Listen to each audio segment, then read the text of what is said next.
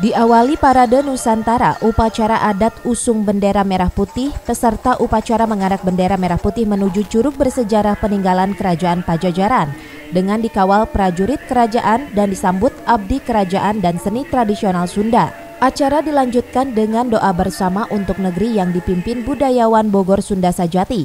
Diikuti peserta upacara terdiri dari seniman, budayawan, wartawan, regu penyelamat tim rescue Damkar Kabupaten Bogor, dan relawan kemanusiaan.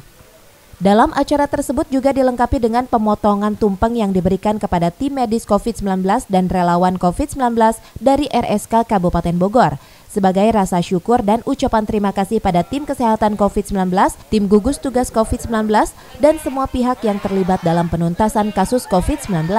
Hal ini sebagai bentuk kepedulian anak bangsa yang tergabung di Yayasan Bogor Sunda Sajati atas nasib bangsa di tengah pandemi COVID-19 agar pandemi COVID-19 ini segera berakhir. Alhamdulillah kita adakan acara di sini pas kebetulan 17 Agustus ya eh, kemerdekaan yang ke-76 ya. Nah, kita di sini seniman, budayawan ya dan rekan-rekan komunitas lainnya kita mengadakan Eh, kebersamaan untuk kemerdekaan Republik Indonesia. Yang pertama di sini kita berdoa ya atas nama budayawan teh mohon kepada yang maha kuasa ya agar uh, COVID-19 ini ya dicabutlah oleh Allah Subhanahu wa taala. Satu persoalan kalau COVID-19 ini masih ya uh, menjalur di negeri kita, masya Allah ya. Uh, di sinilah uh, harapan kami sebagai budayawan ini ya mohon kepada yang maha kuasa agar uh, penyakit corona atau covid-19 ini uh, dicabut oleh yang maha kuasa.